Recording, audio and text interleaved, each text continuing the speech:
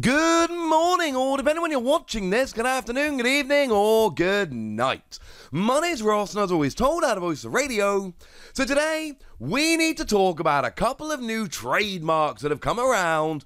Well, I would say in the Pokemon trading card game, it's like it always is when we look at trademarks. And we've looked at trademarks a few times before.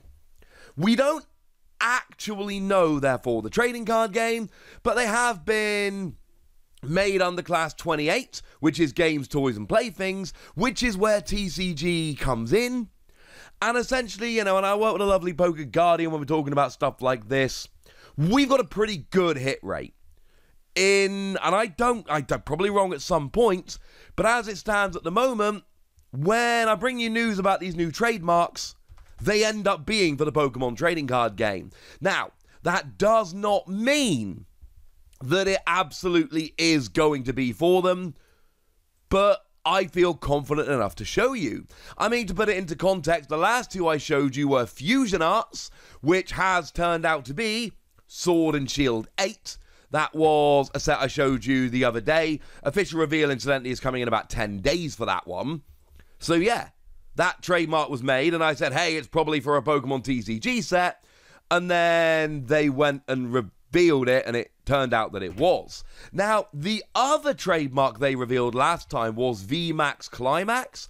As it stands at the moment, and again, this is all subject to change, obviously, we've not heard about that, we've not seen it.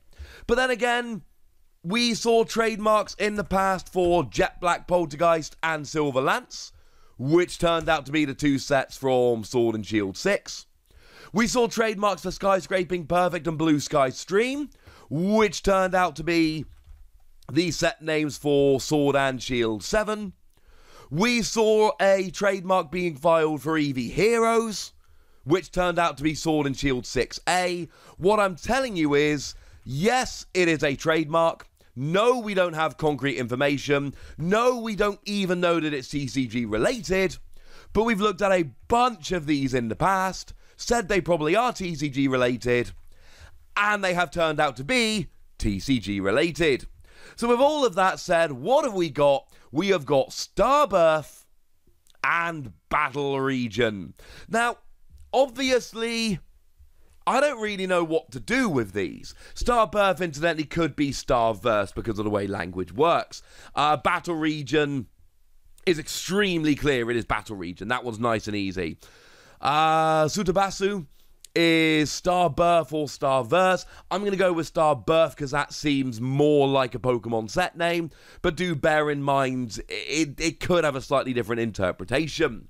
The thing is, Battle Region doesn't really tell us very much at all. That is basically a description of the Pokemon franchise as a whole. Star Birth, however, I think we can start making some really nice predictions. The thing is, it's not that easy.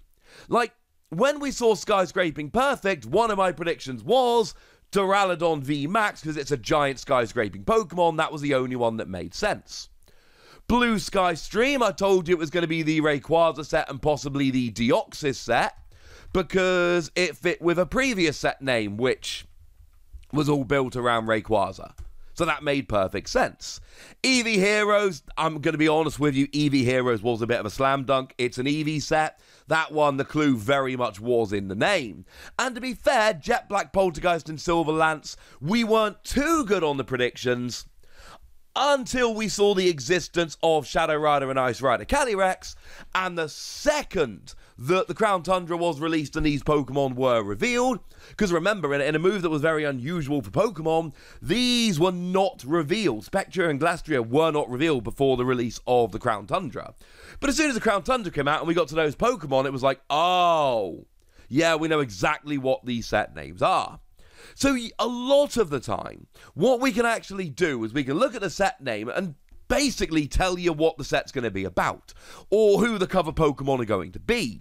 And to be fair, for the last five sets, that being the two Sword and Shield 6 sets, the two Sword and Shield 7 sets, and Eevee Heroes, it has honestly been extremely easy. Now, Fusion Arts, we now know, is based around Mew, or at least Mew is the cover Pokemon.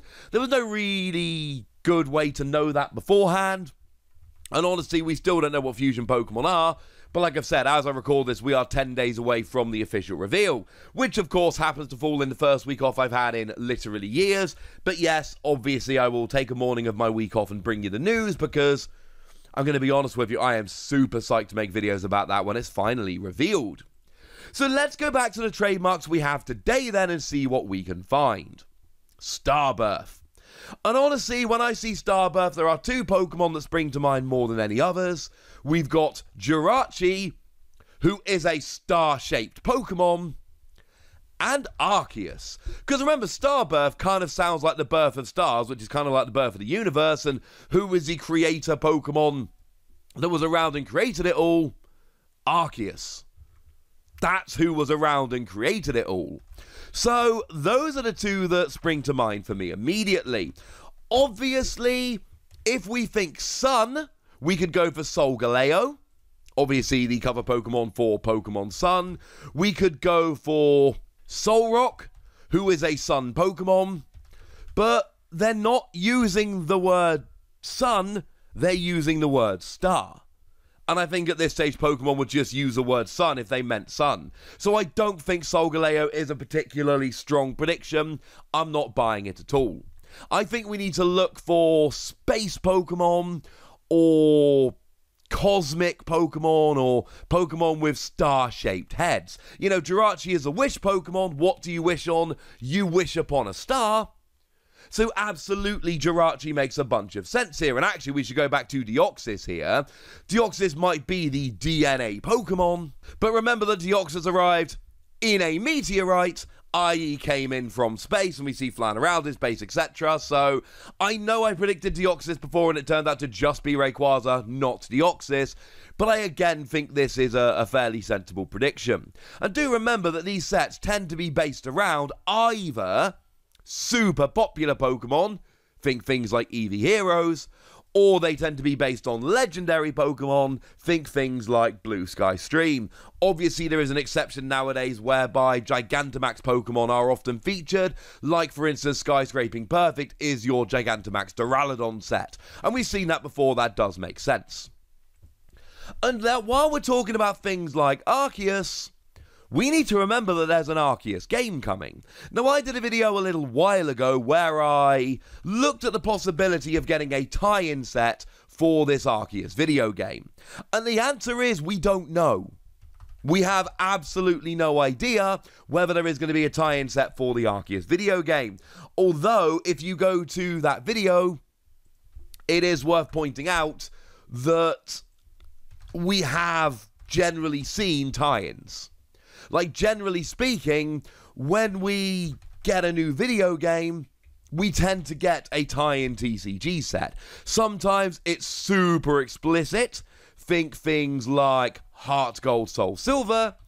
And other times it's a little bit less explicit. Think things like Primal Clash. But we do, in some way or other, tend to get a tie in set when we have a new game. Now, it's also worth bearing in mind that we do have Brilliant Diamond and Shining Pearl coming out as well.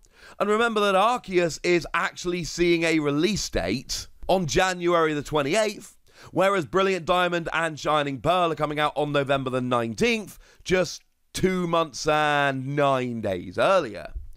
Now, bearing in mind, you know, certainly over here outside of Japan, we have a three month gap between sets. That does not leave much room for doing a tie in set for the pair of them, i.e., a different set for each of them. But that is something which is kind of interesting to think about. But certainly, I could absolutely see this being a tie in set for Legends Arceus. Because what we're talking about here is Starbirth and that firstly sounds like Arceus. And then we've got the fact that Arceus is set the game very much in the past at a stage where it wasn't really running around catching Pokemon, fighting, etc. So there is absolutely a possibility here is that we get a tie-in set with Arceus, which is kind of celebrating the birth of Pokemon battling as we know it. And then if that is the case, If we go back to the other trademark of Battle Region, maybe. Bearing in mind, these games are all set in Sinnoh, so maybe the Battle Region just refers to Sinnoh with all the games coming out. Like I've said, Battle Region, it is really hard to try and make anything out of Battle Region because Pokemon is a game where you explore regions and catch Pokemon and battle with Pokemon. So it really is hard to get anything specific.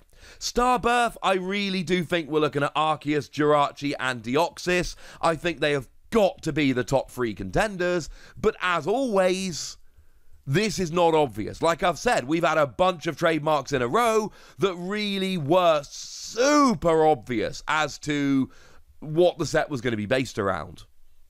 But then again, even with the last couple of sets, we knew it was going to be based around the DLC for Pokemon Sword and Shield.